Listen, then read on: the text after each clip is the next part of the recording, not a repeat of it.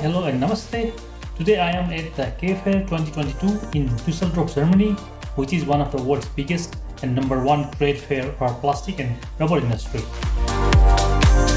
Today's vlog is uh, technical related.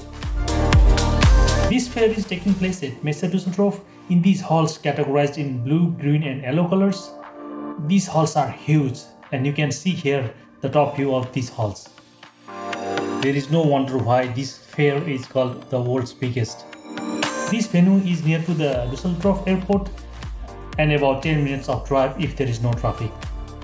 So many companies from small to big and renowned from all around the world that trades plastic and rubber materials or produce machinery and equipment for plastic industry such as dosing, conveying, drying and extruders are taking part in this fair. By the way, one needs to sign up and pay for the entrance ticket. Uh, it is a nice experience though to visit this fair as this fair has so much to offer about the technological advancement within the plastic and rubber industry.